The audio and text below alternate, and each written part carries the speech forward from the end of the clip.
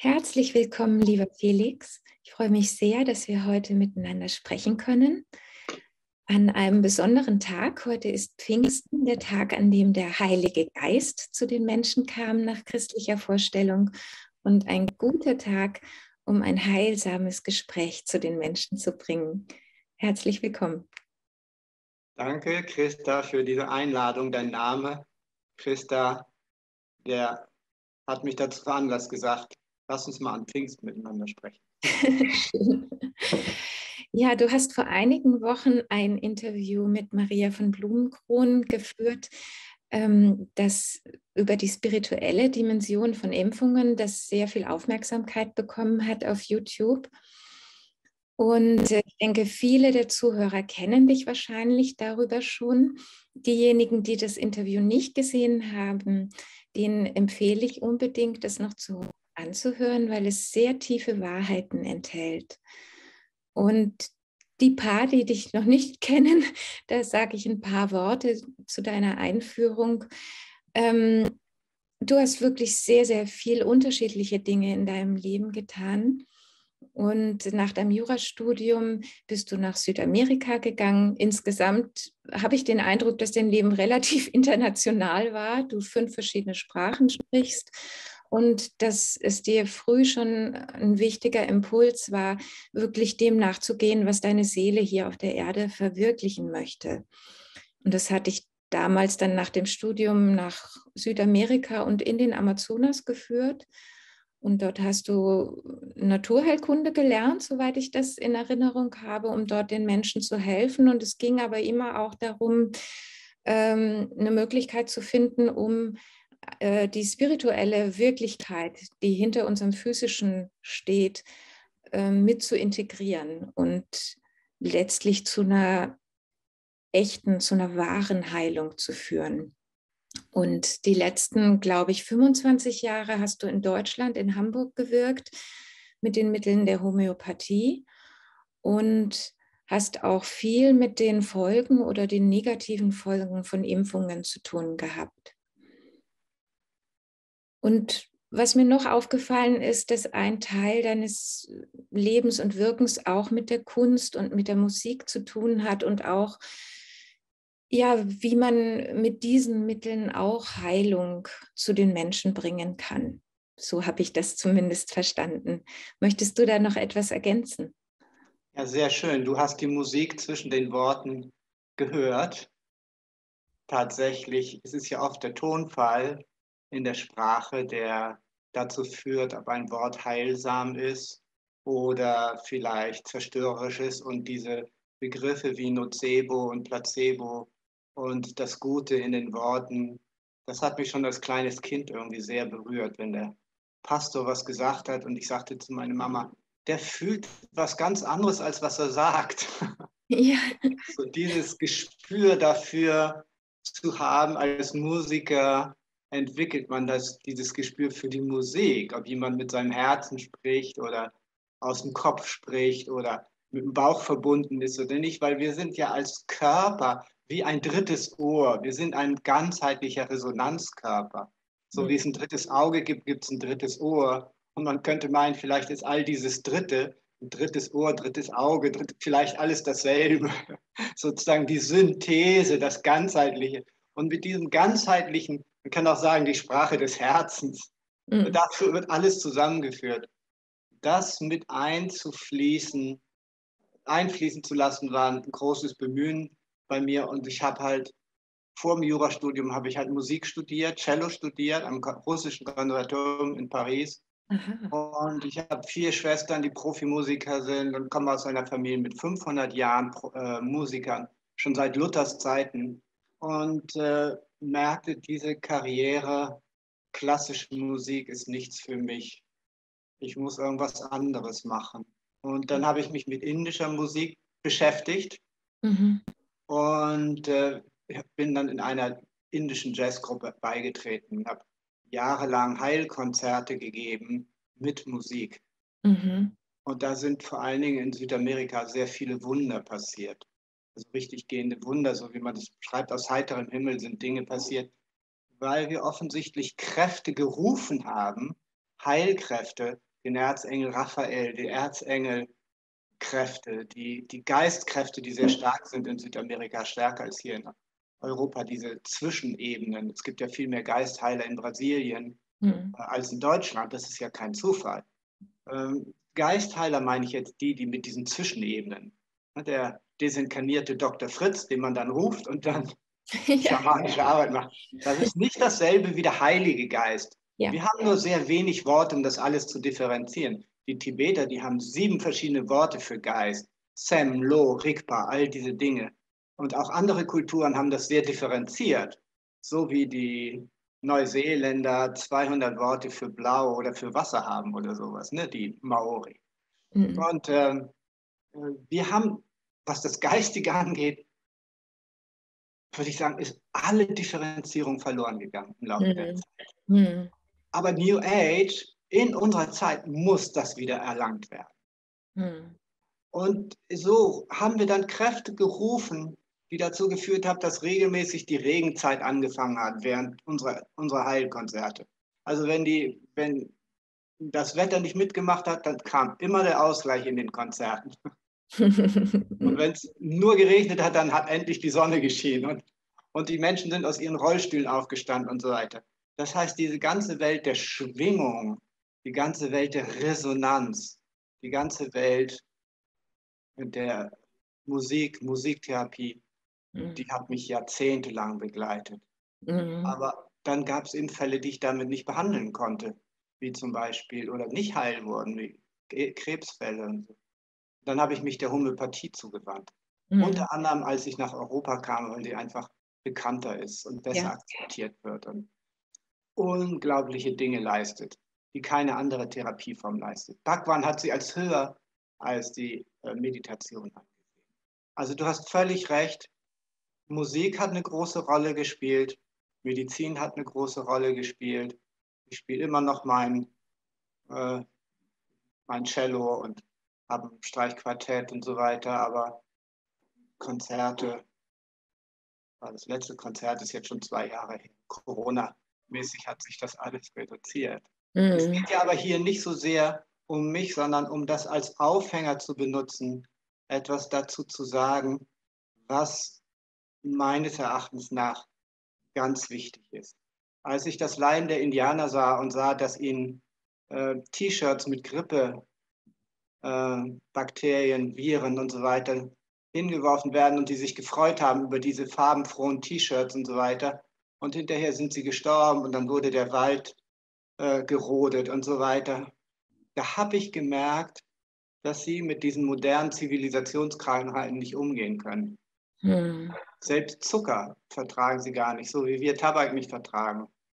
Ich glaube sogar, dass wir Kaffee nicht vertragen, aber dass viele Leute glauben, das sei harmlos wie Wasser. Aber okay, das ist ja jetzt nicht der Punkt, sondern dass wenn sie dann behandelt wurden mit Antibiotika, mit Antigrippe, äh, Virustatika und so weiter und so fort, dann wurde ihnen auch immer gleichzeitig ein völlig ihnen fremdes Weltbild verkauft. Mhm. Albert Schweitzer, der hat in Afrika Krankenhäuser gemacht, in denen die ganzen Familien zusammenkommen, wo sie trommeln durften, wo sie die Geister anrufen konnten. Und er hat trotzdem ihnen die Schulmedizin gegeben. Das war der Geist, den ich wollte. Ich wollte eine Medizin finden, die den Indianern hilft, mit den Zivilisationskrankheiten umzugehen, die aber nicht sagt, deswegen müsst ihr Materialist werden. Ihr müsst nicht Christ werden, ihr müsst nicht Materialist werden, ihr müsst nicht alle eure geistigen Welt abbeschwören. Und komischerweise habe ich diese Medizin in der Homöopathie gefunden. Hm. Die Homöopathie wurde wunderbar von den indigenen Völkern akzeptiert. Es gibt hunderte von Krankenhäusern, die nur mit Homöopathie arbeiten. Vor 120 Jahren war es noch die Hauptmedizin, nach Temperamenten zu behandeln und so weiter, war auch bei uns ganz gang und gäbe. Die ganze Impfgeschichte hat sich aus der Homöopathie, dem Feinen, den mhm. Feinstofflichen entwickelt. Und es ist äh, durchaus möglich, weil es eben nicht wie Musik mit Klängen, Sprachen und Kultur zu tun hat, es ist kulturlos, sie zu erreichen. Sie sehen die Wunder, die passieren, sie sehen die Heilerfolge und sie können es total gut nachvollziehen und nachmachen und so weiter. und selber die Mittel herstellen. Und das ist also ein wunderbares Instrument. Dass ich dabei mhm. eben natürlich auch auf die Probleme mit den Impfungen gestoßen bin.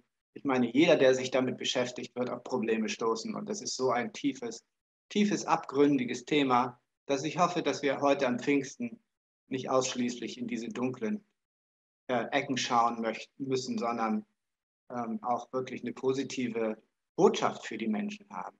Mhm. Es gibt eine neue Medizin, die uns hilft, mit diesem ganzen Schatten fertig zu werden, um ins Licht zu kommen und die ohne Kultur ist, die nicht eine Religion ist. Man muss nicht Buddhist sein dafür, nicht Christ sein dafür. Man muss an nichts glauben dafür, man muss es nur einnehmen. Das ist das Einzige. ja, ich würde auch gerne erstmal auf die lichte Seite schauen. Ähm, mir ist aufgefallen, in den letzten zwei Jahren ist auf einmal das Thema Gesundheit so präsent, was ja gut ist. Also Jahrzehnte vorher hatte ich das Gefühl, niemand interessiert sich eigentlich für seine Gesundheit. Und plötzlich ist das Wort in aller Munde. Aber ganz oft habe ich auch das Gefühl, wenn jemand sagt, ähm, es geht ja um die Gesundheit, du weißt ja gar nicht, wovon du sprichst. Ähm, und deshalb würde ich gerne mal äh, mit dir darüber sprechen, was ist Gesundheit eigentlich? Also das Wort Gesundheit resoniert mit der Sonne. Gesund sein. Und die Sonne, Christus soll, die Sonne, das Herz, der Geist, der reine Geist, unsere Quelle alles, was wir aus der Quelle tun, tun wir in Liebe, aber in Ganzheit. Der achtfältige Pfad des Buddhas heißt, alles mit einem ganzheitlichen Bewusstsein tun. Mhm. Und so wie wir etwas trennen, entsteht eine Lücke. Und da kommt das Ungelücke her. Alles Unglück kommt davon, dass wir uns aus dieser ursprünglichen Einheit gelöst haben. Das ist nun mal das menschliche Schicksal. Aber wie kommen wir zurück? Sie ist ja immer da und wartet uns.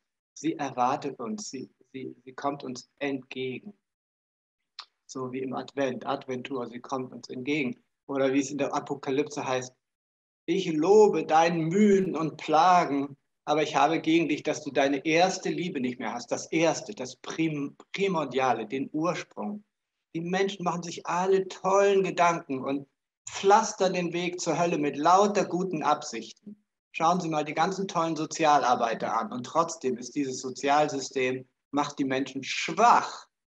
Ich war mal, als ich aus, zurückkam nach Deutschland mit meinen beiden Kindern, vorübergehend Sozialhilfeempfänger.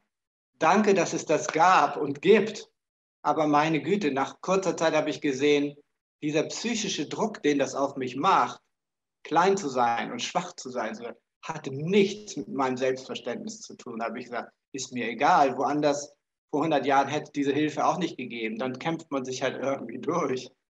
Und dann habe ich gemerkt, dass alles, was diese gute Absichten hat, eben auch eine Schattenseite hat. Gesund sein heißt aber baden im Licht der Ganzheit. Und das ist jenseits von Licht und Schatten. Das ist nicht die Sonne und Mond. Das ist die Sonne, die hinter der Sonne ist. Das ist die Sonne, die in deinem Herzen, wenn ich mir das erlaube, sag, darf zu sagen, anders ist als in meinem Herzen. Die jeder nur in sich finden kann und von außen niemand beurteilen kann. Niemand kann sagen, nein, dir schmeckt Sahnetorte nicht. Das ist dein eigener Geschmack. Niemand kann sagen, nein, du liebst diesen Mann nicht. Das kann niemand sagen. Nur du weißt es. Und niemand kann von außen sagen, was richtig ist und was falsch. Das ist das, was Jesus meint mit, du, das Himmelreich ist in dir. Und die Menschen haben vergessen und verloren, diesen Blick überhaupt nach innen zu richten. Und in der Nacht, wo wir uns nach in diese geistige Welt richten, und Nachrichten. Da haben viele Menschen Angst vor und machen das Licht an. Einige lassen sogar den Fernseher die ganze Nacht laufen. Bestimmt nicht deine Zuhörer oder Zuschauer. Aber ich habe es schon so oft gesehen, dass die Menschen vor dieser Dunkelheit, vor die Angst haben. Mhm. Ich habe noch in Dörfern gelebt, da gab es überhaupt keinen Strom. Und das ist wunderbar. Nachts raus. Nur die Leute, die ein paar Kerzen tragen. Und ein paar Taschenlampen gibt es natürlich in der modernen, modernen Welt. Und ansonsten sieht man nur die Sterne mhm. über dem Himmel. Gerade wenn man hoch in den Bergen ist, in den Anden und so weiter, ist das ein wunderbares Gefühl von Geborgenheit. Mhm. Eigentlich ist der Geist etwas, in dem wir geborgen sind. Mhm. Aber deswegen ist es auch verborgen. Also das ist oft uns so nah, dass wir es gar nicht sehen. Und deswegen bemerken wir Gesundheit erst, wenn wir krank sind. Mhm. Erst wenn wir in diese Dualität kommen und einen Gegensatz machen zwischen Gesundheit und Krankheit, dann machen wir uns Gedanken über Gesundheit und Krankheit. Wie, wie ein Kind, was einfach so ist, wie es ist und schreit und plärt, wenn es was haben will. Und erst wenn es in die Dualität kommt, zwischen ich und du und dann sagt, das macht man aber nicht oder jetzt musst du warten, bis es Essen gibt oder jetzt musst du warten wegen der Reinlichkeit und so weiter und so fort. Also diese, das ist halt uns antrainieren. Mhm. Und das wissen die Menschen nicht. Und seit 100 Jahren, als dann es diesen Feldzug gegeben hat, nur noch Medizin anzuerkennen, die patentierbar und verkäuflich ist und alles auf mechanistisch messbare Werte zu reduzieren, was ja ganz im Geist des materialistischen Weltbilds ist. Materialistisches Weltbild in Klammern gesagt ist nur deswegen ein Problem, nicht weil es diese materielle Ebene nicht gibt, sondern Materialismus bedeutet, dass man kategorisch verneint, dass es noch andere Ebenen gibt. Mhm. Die Wissenschaft könnte so weitermachen wie wie her, aber sie würde trotzdem erlauben, dass es Geistwesen gibt, dass es Intuition gibt, dass wir die Zukunft vorher wissen, dass wir nachts in andere Dimensionen abtauchen. Dann wäre die Wissenschaft wunderbar. Das ist eigentlich ihre Aufgabe. Aber wenn man das für, als Grundlage für das Leben nimmt, die Lebenskraft, die Heilkraft, dann ist es eben abgeschnitten von der Wahrheit, abgeschnitten von der Wirklichkeit, abgeschnitten von der, von der Lebens, Erfahrung der Menschen. Und wir glauben also tatsächlich heute, wir sind gesund, wenn wir einen Blutdruck von 80 bis 180, 120 haben. Und wenn er 150 ist, sind wir krank oder so etwas. Und dann gehen die Menschen zum Arzt und sagen, ich bin krank und dann misst er seine Standardwerte und sagt, nee, Sie sind gesund. Das ist so, als würde jemand kommen und sagen, nein, du liebst den anderen, deinen Freund nicht oder so. Oder sagen, nein, Sahnetorte schmeckt dir nicht. Mhm. Ja, ich, da, da, merkt man, da stimmt was nicht, oder? Mhm. Und das merken die Menschen jetzt ganz stark. Also das ist, glaube ich, eins von den wichtigsten Dingen dieser Überzogenheit. Ein Krug geht so lange zum Brunnen, bis er bricht.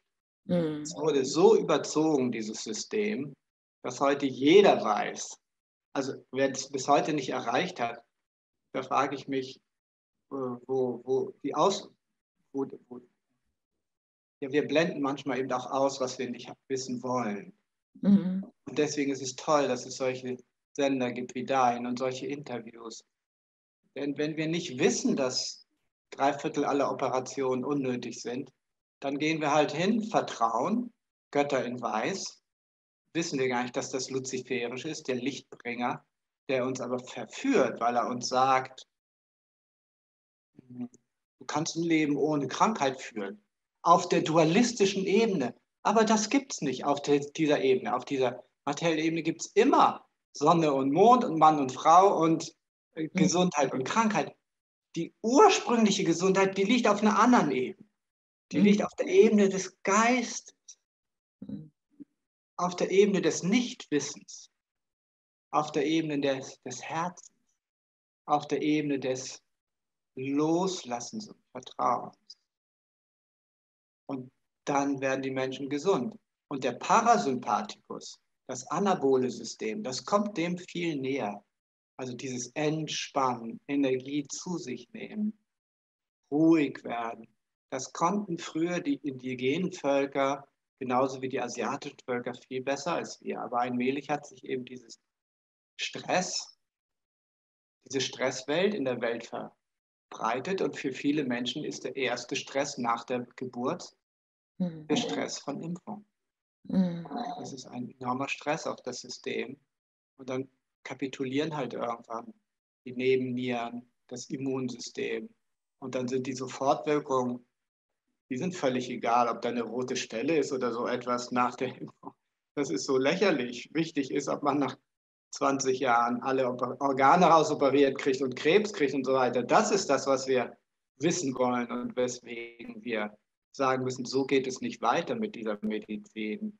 Wir mhm. dürfen unsere Kinder nicht mehr impfen lassen. Wir dürfen nicht mehr auf diese Art und Weise damit umgehen. Es mhm. muss individualisiert sein. Und ja, das würde ich gerne später nochmal darauf zurückkommen und erklären, was mhm. zu welcher Gesundheit wir wieder zurückkommen können. Mhm. Also Viele denken ja im Zusammenhang mit den Impfungen in erster Linie an irgendwelche Zusatzstoffe, die dann eben wieder auf der ähm, materiellen Ebene, dem, der physischen Ebene, dem Körper schaden. Aber wenn man, wenn man sich die geistige Ebene anschaut, dann hat ja jede Krankheit ähm, einen ganz spezifischen Impuls auch, den sie dem Menschen bringt.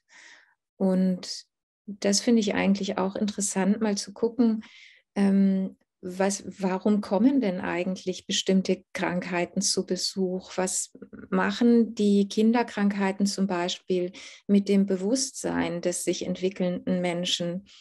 Es ist was, wo ich so Gefühl habe, dass das jungen Eltern überhaupt nicht präsent ist, weil das schon eine Generation ist, die haben diese Krankheiten selber vielfach gar nicht gehabt sind geimpft worden oder auch nicht geimpft worden, hatten aber keine Möglichkeit, der Krankheit zu begegnen, zum Beispiel bei den Masern. Also was ist das Spezifische an so einer Masernerkrankung zum Beispiel? Warum kommt die und wie kann auch jemand als junges Elternpaar jetzt damit umgehen? Was mache ich denn da jetzt? ja, ja, es ist wunderbar, dass du das ansprichst. Denn natürlich hat auf dieser geistigen Dimension alles einen Sinn.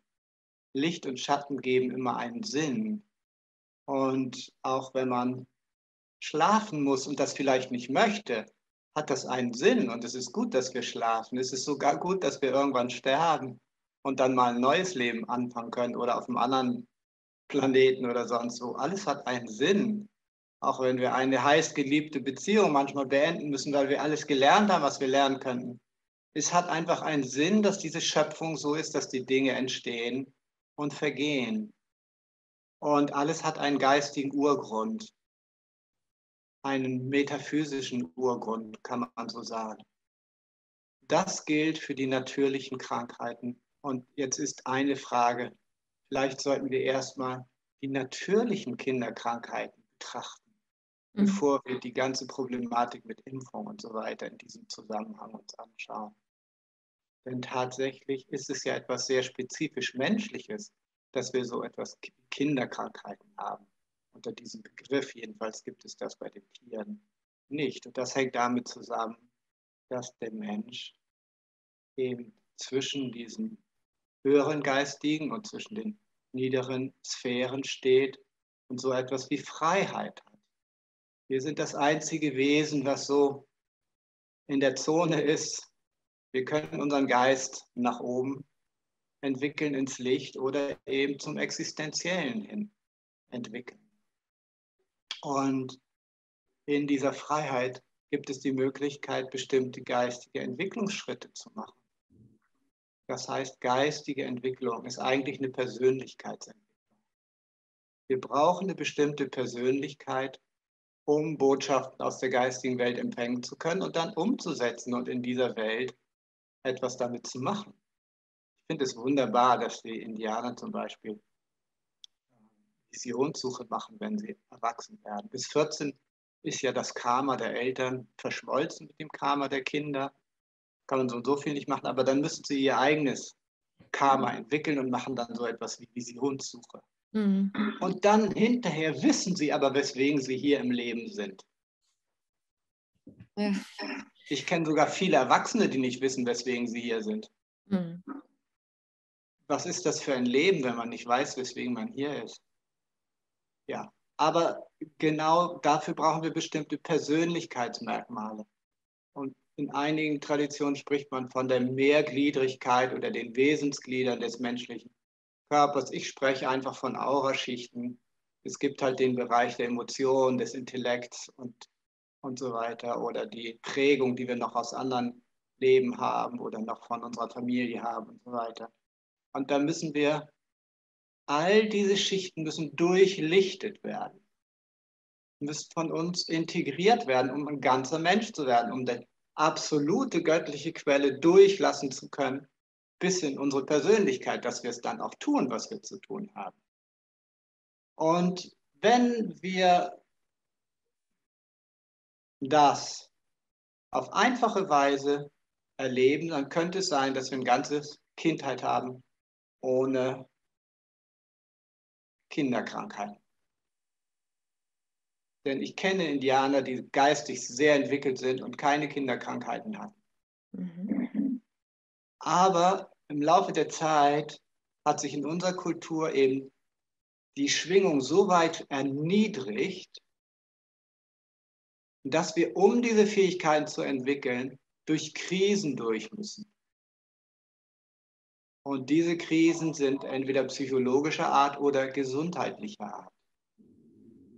Und Eltern, die ihre Kinder beobachten, die nicht geimpft sind und auf natürliche Weise durch solche Krisen gehen, beobachten immer, dass die Kinder nach Windpocken, nach Masern, nach Scharlach oder Mumps oder was auch immer anders geworden sind, reifer geworden sind, erwachsener, mehr sich selbst.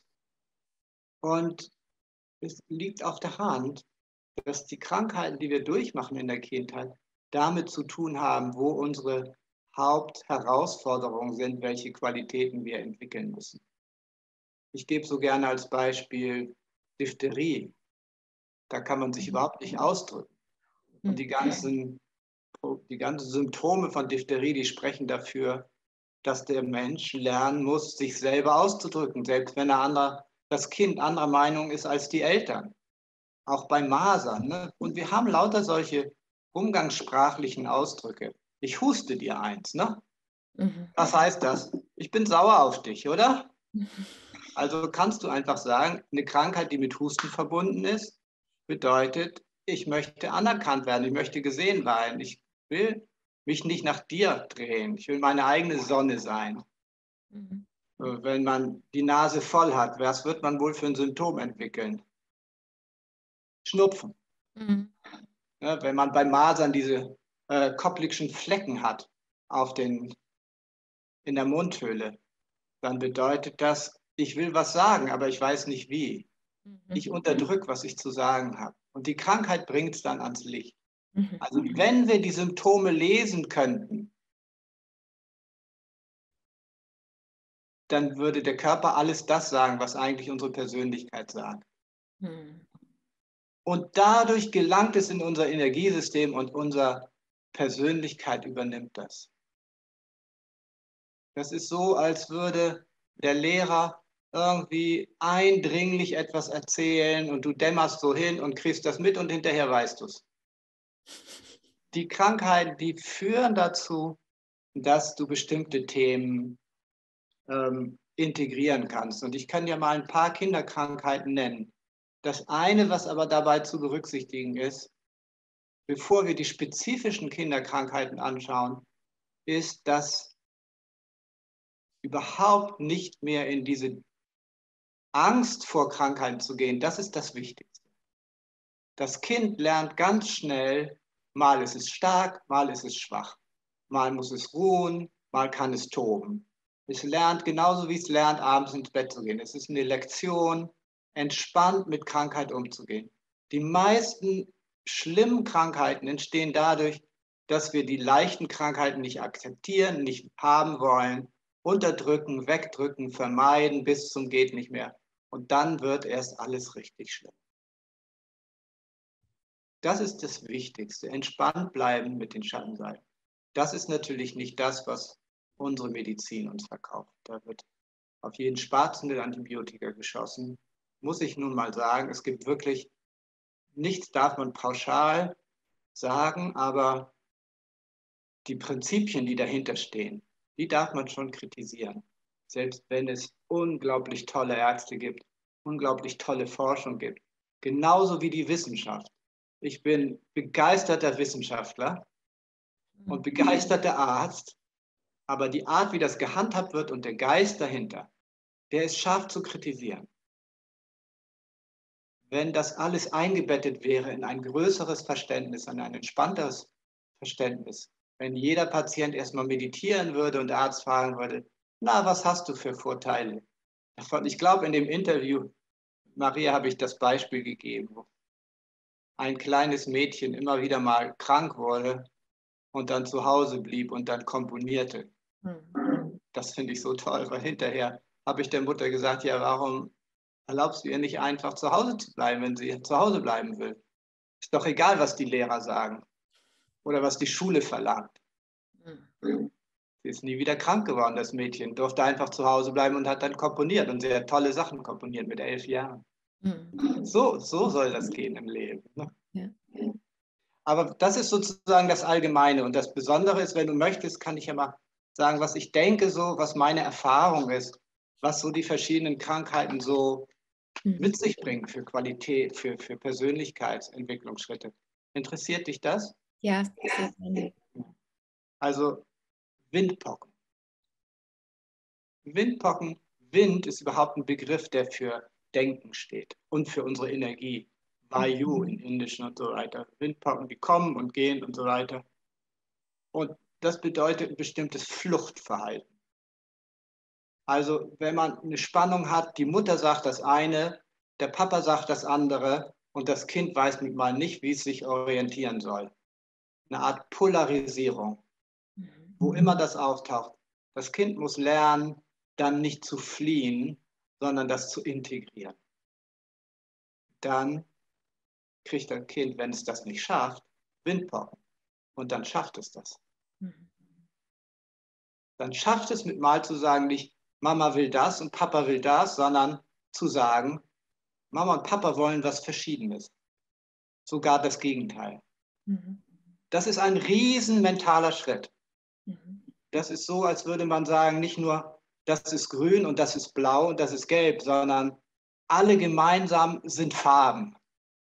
Weißt du, was das für ein geistiger Schritt ist? Das kann kein Elefant sagen. Die haben ein großes Gehirn. Das kann kein Delfin sagen. Die sind sehr intelligent. Dieser Entwicklungsschritt, die Ebene zu wechseln, immer in die Synthese zu kommen, das wird durch Windpocken ermöglicht. Das will man dem Kind doch nicht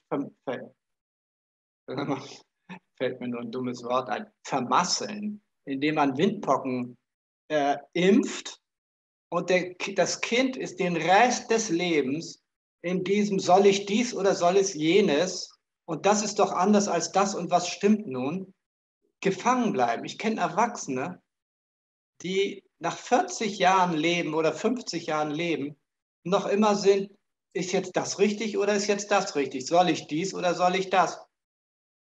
das ist ja die erste Lektion, die Windpockenlektion nicht integriert zu. Mhm.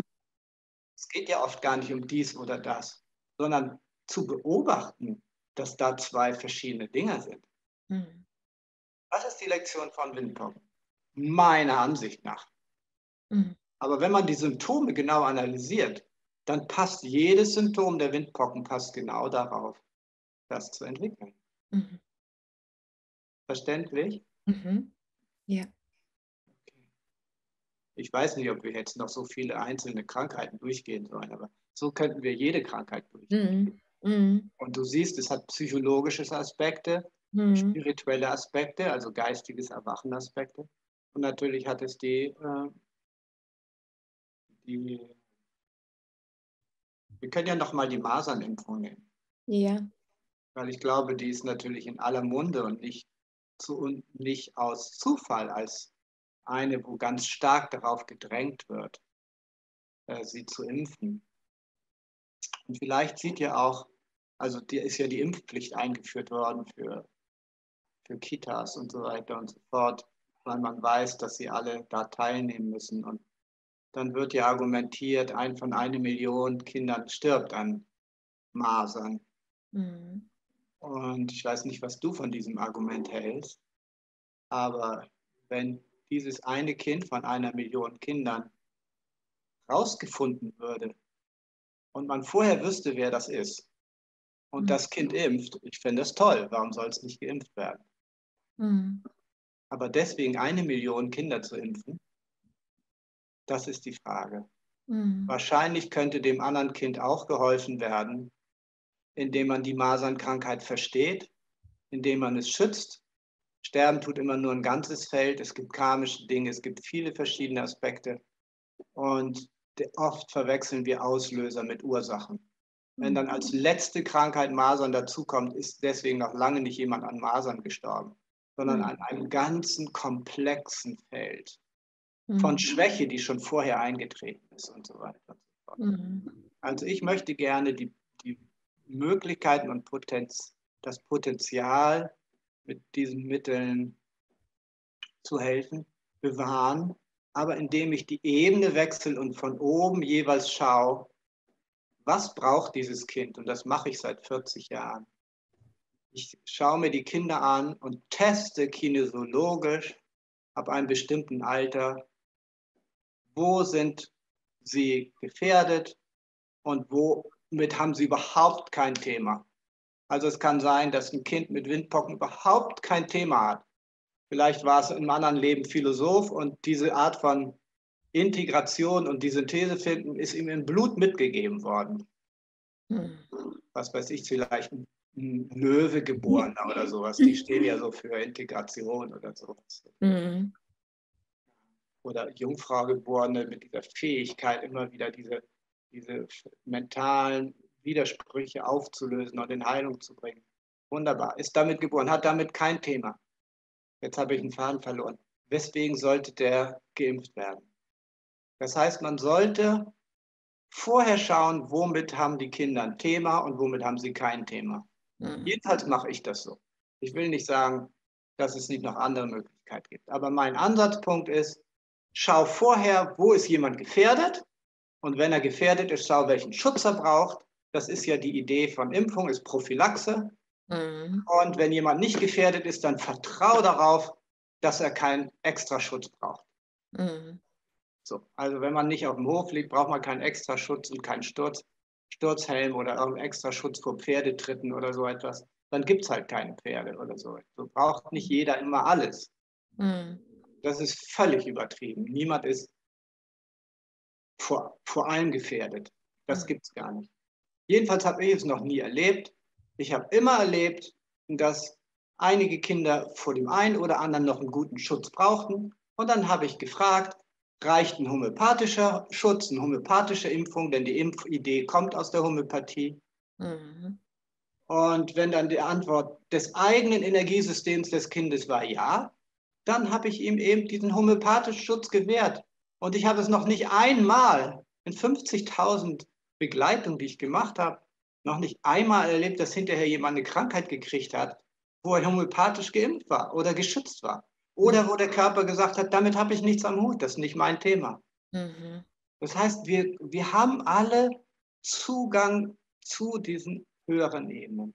Mhm. Wenn die Krankheit kommt, dann kann man das vorher wissen und spüren. Die kommt nicht aus heiterem Himmel. Mhm. Die Menschen träumen oft vorher da, davor die sagen, Opa, du siehst so komisch aus, deine eine Gesichtshälfte ist irgendwie ganz dunkel. Das ist die Aura, die dunkel ist und kurze Zeit später hat dann Schlaganfall auf der Seite. Wir sehen die Energie vorher und die Energie, danach richtet sich der Körper. Und auf der energetischen Ebene kann man testen, ob jemand Risiken hat oder nicht. Hm. Wenn er sie hat, dann soll man ihn schützen. Wenn er sie nicht hat, dann braucht er den Schutz nicht. Und wenn jemand sehr stark gefährdet ist und eine schulmedizinische Impfung braucht, dann soll er sie kriegen und dann soll man die homöopathisch begleiten, dann gibt es keine Nebenwirkung. Also was ist das Problem? Wozu all diese Nebenwirkungen als Risiko auf sich nehmen und der Bevölkerung schaden, sie insgesamt schwächen, wenn es darum geht, einzelne Menschen zu schützen für einzelne Krankheiten. Und das kann man auf eine viel bessere Art und Weise machen. Mhm. Du siehst etwas besorgt aus. Was, nee, was ich denke nur gerade nach. also du hast ja vorhin auch erzählt, dass ähm, die Indigenen die Kinderkrankheiten zum Teil gar nicht brauchen, weil sie diese Krise nicht brauchen, ähm, um bestimmte Entwicklungen zu machen. Bei uns braucht man anscheinend manchmal die Krise. Wie ist es denn jetzt, wenn ich, ähm, wenn ich das homöopathisch anstoße, diese Entwicklung? Kann man dann hinterher äh, sogar Antikörper nachweisen oder ist es völlig unabhängig davon? Also wenn es richtig gemacht ist und funktioniert, das weiß ich, ich kann sagen, dass es nicht in allen funktioniert, aber wenn man tatsächlich also es gibt einige Menschen, die versuchen zum Beispiel die Masern Antititer zu produzieren, indem sie eine Potenz geben. Mhm. Das funktioniert nicht. Mhm. Man muss oben aus dem Geistigen die Information von Masern holen und mhm. sie dann erst in der hohen Potenz geben, dann in der mittleren Potenz und dann in der niedrigen, bis es im Körperlichen ist. Dann mhm. macht der Körper auch noch den letzten Sprung und kann Antititer nachweisen. Mhm. Das, das, das nenne ich äh, die Impfung, homöopathische, geht im Allgemeinen von oben nach unten, aus dem Geistigen ins Körperliche. Mhm. Impfausleitung genau umgekehrt. Mhm. Da fängt man mit den tiefen Potenzen an und leitet das immer aus, bis der Geist selber es wieder integriert, sozusagen mhm. auf der geistigen Ebene auflösen kann, wo sich alles auflöst. Mhm. Ähm, es ist so, dass man die Menschen in der Tat mit der Homöopathie unterstützen kann, entweder leichter durch diese Krisen zu schlittern oder sie gar nicht erst zu machen. Also wenn man rechtzeitig zum Homöopathen geht, dann kann der auch da durchaus dazu beitragen, dass die, dass die Kinder die meisten Themen sogar ohne Kinderkrankheiten integrieren. Mhm. Aber auf jeden Fall geht das nur auf einer Grundlage, wo man keine Angst vor Kinderkrankheiten hat mhm. und die eventuell als eine Hilfe ansieht. Mhm. Ich denke, man kann das ja, man kennt es eigentlich auch aus der Schulmedizin, wenn man sich gegen eine Krankheit stillgefeit hat. Ja? Also meine Tochter zum Beispiel hatte nie die Röteln, nicht sichtbar, aber sie ist dagegen immun. Absolut. Hm. Absolut. Ja. Wenn wir nochmal zurückgucken zu diesem, wo du angefangen hast, ähm, zu der inneren Sonne, die für unsere Gesundheit zuständig ist. Weiß nicht, ob man das so sagen kann. Hm. Welche Bedeutung hat denn die Liebe eigentlich für uns Menschen? Man könnte sagen, aber man kann viel zur Liebe sagen. Man kann auch viel zur Liebe schweigen. Denn alles, was wir sagen, Worte haben diese Eigenschaft, etwas zu fixieren. Mhm. Und die Liebe ist genau das Gegenteil davon. Sie ist eine absolute Offenheit, absolute Freiheit, die absolute Güte. Worte helfen, dass wir die Welt beherrschen können. Die Liebe ist sanftmütig. Sie möchte nicht herrschen. Deswegen ist es oft besser, über die Liebe zu schweigen. Aber man darf auch keine Angst haben davor. Diese Liebe, die wir immer erst persönlich kennenlernen und jeder hat irgendwie diese Schritte durchmachen müssen. Auch Jesus hat mit ganz persönlicher Liebe angefangen und irgendeinen Menschen ganz persönlich geliebt. Die hat natürlich auf der menschlichen Ebene ganz viele Aspekte. Mutterliebe gibt es auch bei den Tieren. Was der Mensch als besondere Fähigkeit hat, ist, sie immer weiter auszudehnen, bis hin zur ganz abstrakten Liebe, die Liebe für das Nichts, für das Nicht-Sichtbare, Nicht-Fassbare, für die ja, manchmal kann man es natürlich dann einfach glauben, das ist und dem dann wieder eine Form geben. Ein Bild geben, dann glaubt man, oder einen Namen geben. Aber eigentlich ist die Liebe so, dass sie uns bis an die Grenzen des Absoluten führt. Es ist vielleicht, könnte man sagen, das höchste Ordnungsprinzip innerhalb des, der Schöpfung. Man könnte sagen, dass der reine Geist, der ruht in sich. Der unbewegte Beweger. Und wie aus einem Paradox wird daraus die Schöpfung, entsteht daraus die Schöpfung. Das wird manchmal als der weibliche Aspekt des Göttlichen betrachtet. Das Potenzial, das daraus die Schöpfung wird. Das ist die große Göttin. Das ist die Maria, die große Göttin, nicht die Person, sondern das weibliche Göttliche. Also Gott ist sicherlich Yin und Yang, nicht nur was männlich ist, selbst wenn wir ihn grammatikalisch so mhm. davon sprechen. Aber das Absolute ist definitiv weder Yin noch Yang, aber hat diese beiden Aspekte. Mhm. Und dieser Aspekt, das des in sich ruhenden Göttlichen, dass es in die Welt kommen kann, das kann man die weibliche Seite Gottes nennen. Mhm. Und die manifestiert sich und so wie sie beginnt, sich aus dieser ursprünglichen in sich ruhenden Wirklichkeit, dem Urgrund zu lösen. Diese Schwelle wird in Indien Antakarana genannt. Dort beginnen dann die Zahlen zu wirken. Das höchste Ordnungsprinzip, was alle Zahlen regiert, das Resonanzprinzip, ist das Prinzip der Liebe. Also die Liebe, kann man sagen, ist das höchste Prinzip, was die Schöpfung durchdringt. Das ist die Höhe, das höchste Prinzip der weiblichen Seite Gottes. Gott selber, würde man sagen, das kann man tatsächlich sagen. Dem ist es egal, ob du gesund bist oder krank, ob du lebst oder stirbst. Weil du stirbst so und so irgendwann mal. Und das sind einfach nicht seine Kriterien auf der Ebene. Verstehst du? Der ist auch nicht so wichtig, ob jetzt Wuppertal, ich weiß nicht, ob gibt es eine Fußballmannschaft in Wuppertal oder so, gewinnt oder irgendjemand anderes. Ne, da können beide Gruppen zu Gott beten und der muss natürlich lachen, weil was soll er denn machen? Das ganze Universum besteht aus Abermilliarden von Galaxien mit Abermilliarden von Sternen. Und da streiten sich die, beten sie dann zu ihm, damit er äh, macht, dass ihr, ihr Fußballclub gewinnt. Weil einer gewinnt und einer verliert, so ist das halt. Mhm. Okay? Deswegen in der Heilung ist es sehr wichtig, sich an die Liebe zu wenden und an die göttliche Mutter. Weil sie ist sowohl auf der Ebene, sie kann mit dem Vater sozusagen kommunizieren, aber sie ist eben dieser Schritt in die Existenz.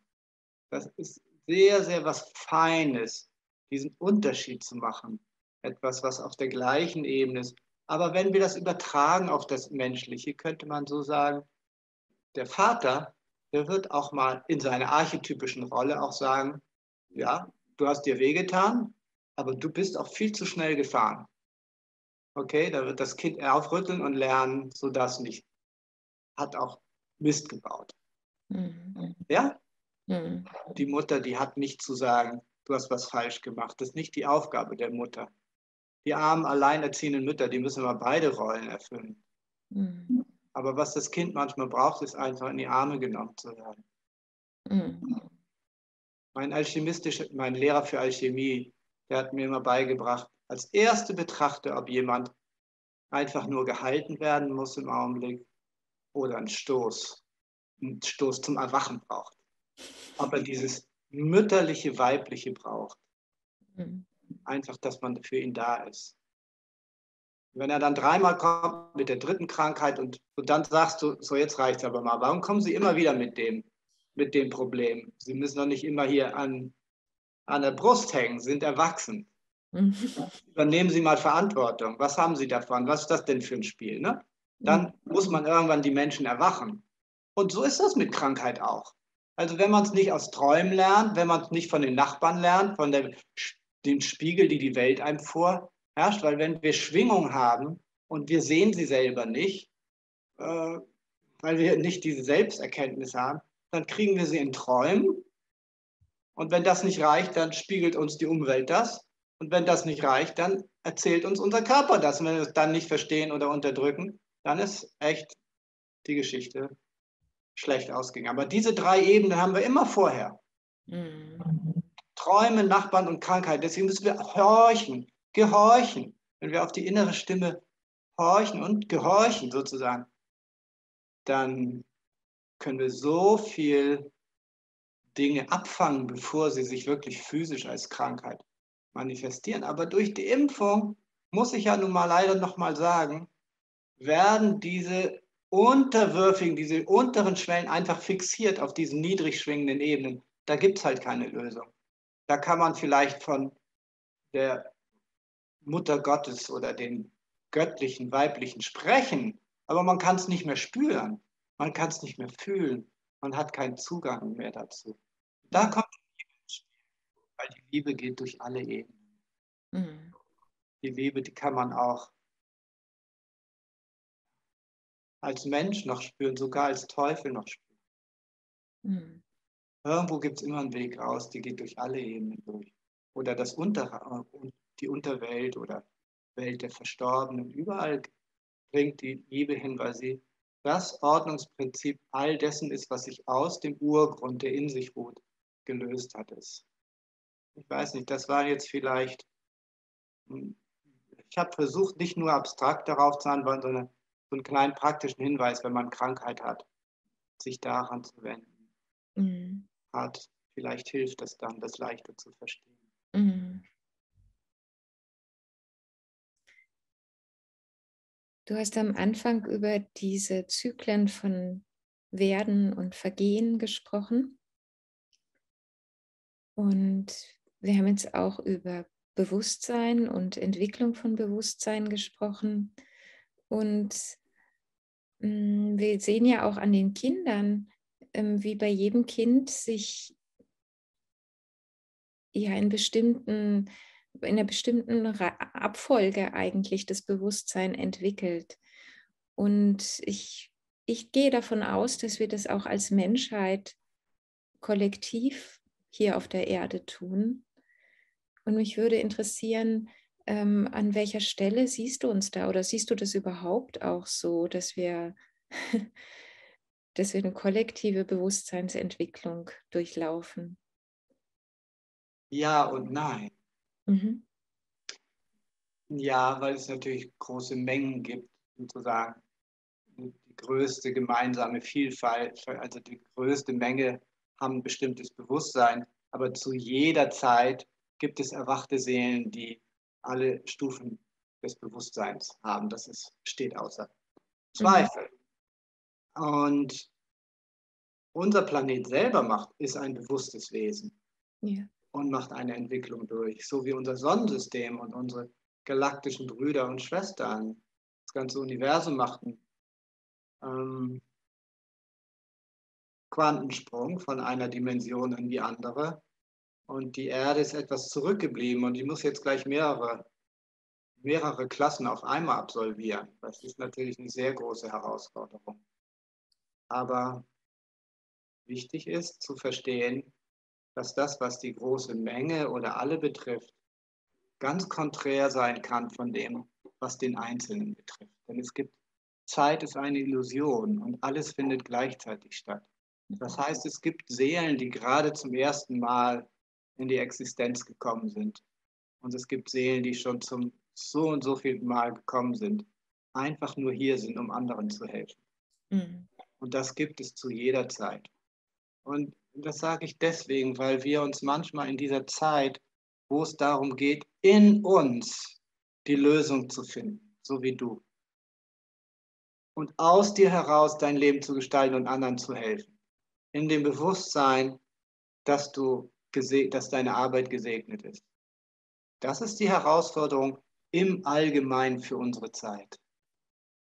Aber es gibt auch Seelen, die sind hier, um ihre Tradition was weiß ich, Hinduismus ist zweieinhalbtausend Jahre, die Veden 6000 Jahre alt, zu bewahren. Und da gibt es Meister, die sind angebunden in dieser Tradition, die sind aber vielleicht, wie soll ich das ausdrücken? In der Zeit, damals, als die Zeit der großen Religion, da gab es sozusagen einen Hirten. Und dann waren alle Schafe sicher, die in dieser Richtung gingen. Wenn du heute nur einfach ein Schaf bist, bist du vor nichts sicher. Heute besteht deine Aufgabe, ein Löwe zu sein. Und der Löwe, der wie die Sonne, Sonne und Symbol, Löwe ist dasselbe Symbol, seine Liebe, sein Licht auf andere strahlen lässt und allen anderen genauso zugesteht, in sich seine Sonnennatur zu finden. Das ist ein völlig neuer Ansatz. Da können dich die alten Traditionen nicht hinführen. Mhm. In den alten Traditionen, wenn du diesen Ansatz in dir gefunden hast, dann findest du ihn auch in den alten Traditionen. Aber das ist nicht ihr Fokus.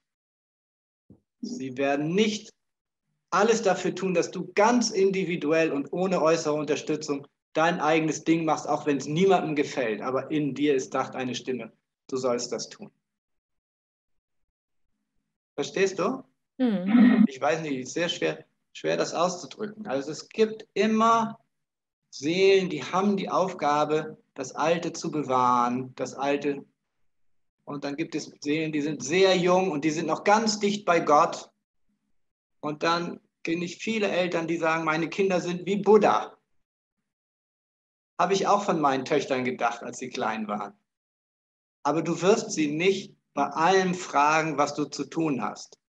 Sollen wir jetzt ein Familiencaravan kaufen oder sollen wir ein Stadtauto oder mieten und so weiter? Das wirst du einfach diesen Buddha nicht fragen, weil er ist noch nicht bis hinab in die Individualisierung und in das menschliche Erwachsensein gestiegen, mhm. um daraus wieder aufzusteigen. Und mhm. allgemein betrachtet ist die Menschheit heute an dem Punkt, wo sie aufsteigt. Man redet von aufgestiegenen Meistern. Das sind welche, die auch wirklich inkarniert waren, im Gegensatz zu den Engeln, die waren noch nie Menschen. Mhm. Frag doch einen Engel bloß nicht, soll ich den lieben oder jenen? Der wird höchstens antworten, ja, natürlich, alle sollst du lieben. Verstehst du? Er weiß vielleicht gar nicht, wovon du redest. Ja. Er lebt auf einer anderen Ebene. Okay? Aber einen aufgestiegenen Meister, den kannst du vielleicht fragen. Mhm. Der weiß, was die menschlichen Themen sind. Mhm. Okay? Also das heißt, die Menschheit ist am Aufsteigen, weil insgesamt das Licht anders wird. Dieses Licht ist dasselbe wie Bewusstsein, Information, Bewusstsein wird mhm. anders und die Erde und die Sonne nähern sich dem galaktischen Zentrum. Deswegen wird jeder von uns mehr eigenes Bewusstsein haben. Das ist sozusagen der allgemeine Trend. Und insofern wollte ich sagen, ja, so ist es. Mhm.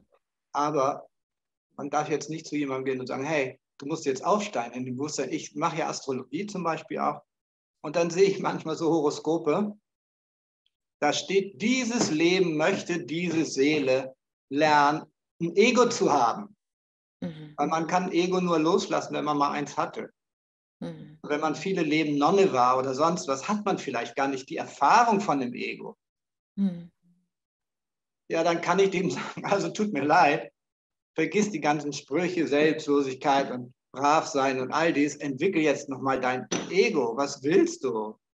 Mhm. Was, was den anderen nicht gefällt und nur das zählt. Mhm. So. Also man muss ja auch das nicht unbedingt Ego nennen, das kann man. Ist ja auch ein schwieriges Wort. In den verschiedenen Bereichen wird das verschieden benutzt. Man kann es dann einen Eigenwillen nennen oder so. Mhm. Mhm. Also du, was ich damit sagen möchte, es gibt eine allgemeine Entwicklung so wie allgemein gehen die Menschen montags zur Arbeit oder wenn es hell wird, stehen sie auf. Aber es gibt natürlich ein paar Menschen, die haben Nachtschicht und die gehen morgens schlafen. Mhm. Wenn man die dann sagt, hey, es wird Tag und die Pflicht besteht jetzt aufzustehen, dann stimmt das halt nicht. Mhm. Ist ganz, ganz individuell. Also unsere Zeit ist die der individuellen Spiritualität. Mhm.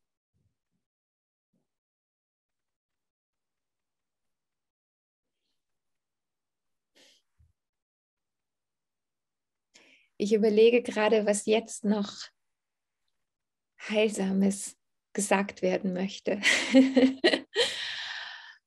es war jetzt schon so viel. Ähm, Gibt es noch etwas, was du auf dem Herzen hast, worüber du gerne sprechen möchtest?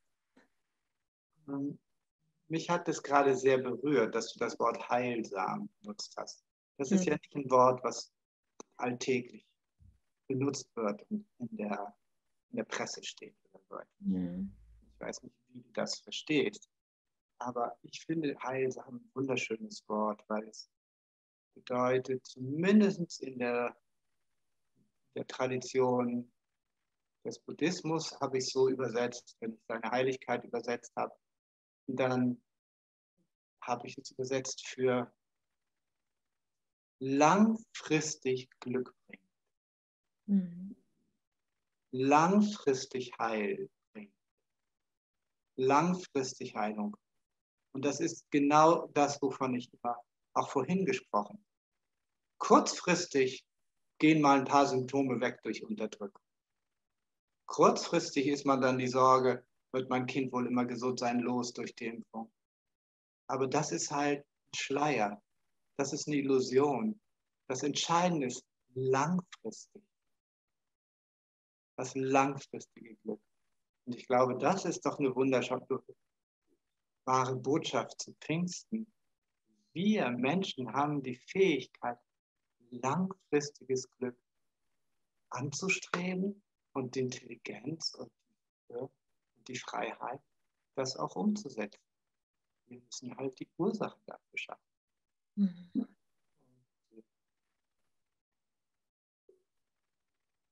Das würde ich gerne eben auch auf diesen Planeten, auf dieses bewusste Wesen Gaia beziehen.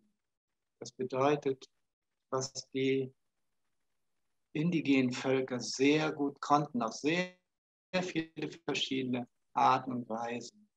Und das war, so im Einklang mit der Natur zu leben, dass sie langfristig erhalten und dass sie langfristig gesund und so wie wir mit der Welt umgehen, so gehen wir auch mit um, uns um. Wenn wir immer nur die Welt ausbeuten, halten wir uns auch selber aus. Nur Stress, überhaupt kein anabolen Pol mehr, gar kein Parasympathikus mehr und so weiter und so fort. Und ich glaube, dass in der heutigen Zeit die Pfingstbotschaft nicht etwas rein Geistiges ist, sondern der Geist sich wieder um die Erde kümmern möchte. Und wir sollten auf andere Art und Weise Respekt haben und die Lektion der indigenen Völker lernen. Und wenn jeder nur auf seinem Balkon ein Stück Erde hat, in einem Blumentopf vor sich um die Erde kümmert und diesen heiligt und wirklich Fürsorge dafür hat, dann würde ich sagen, das ist das Wichtigste, was ich heute noch als, als Bitte, nicht als Botschaft, sondern als Bitte habe. Mhm. Jede Kleinigkeit, jeder, der was tut, trägt zum großen Ganzen dazu bei. Mhm. Vielen Dank. Gerne, Christa. Vielen Dank für dieses schöne Gespräch. Ja. ich wünsche dir noch einen wunderschönen Pfingstsonntag. Dankeschön. In der Natur, vermute ich. Ja, ganz genau gleich geht's los. Schön. Da habe ich eine kleine Gebetshütte im Wald und da gehe ich jetzt hin und werde an euch alle denken. Schön. Alles Gute. Tschüss. Tschüss.